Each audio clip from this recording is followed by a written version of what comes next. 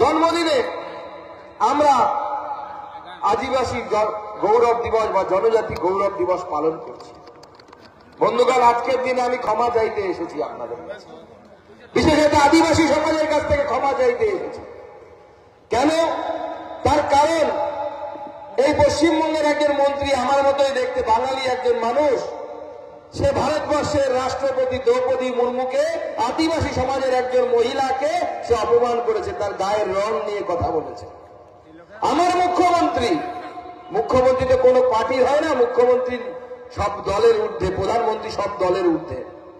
কিন্তু আমার মুখ্যমন্ত্রী, আপনার আমার মুখ্যমন্ত্রী, মাত্র বাহাত্তর ঘণ্টা সময় নিয়েছে ক্ষমা চাওয়ার জন্য। কত? মাত্র বাহাত্তর ঘণ্টা। বাহাত্তর ঘণ্টা আগে তার ঘুম ভাঙেনি। আমি তার জন্য ক্ষমা চাইতে এসেছি। আজকে রাষ্ট্রপতি ভবনে হয়তো বসে মাননীয় দ্রৌপদী মুর্মু যিনি একজন সাধারণ পরিবার থেকে উঠে এসে ভারতবর্ষের রাষ্ট্রপতি হয়েছেন, আমাদের দিদি বললেন রায়রংপুর বেশি দূর না, এখান থেকে উড়িষ্যা।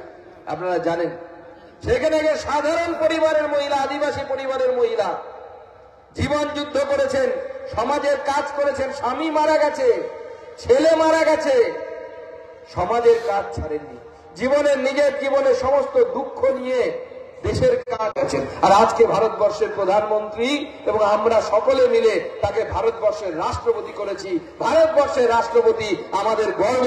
আর যে সমস্ত কুলাঙ্গারা যারা ভারতবর্ষের রাষ্ট্রপতিকে নিয়ে, আদিবাসী সমাজকে নিয়ে এই কথা বলেছেন, তাদের কাছে সেই আদিবাসী সমাজের কাছে তাদের হয়ে আমি ক্ষমা চাইতে এসেছি।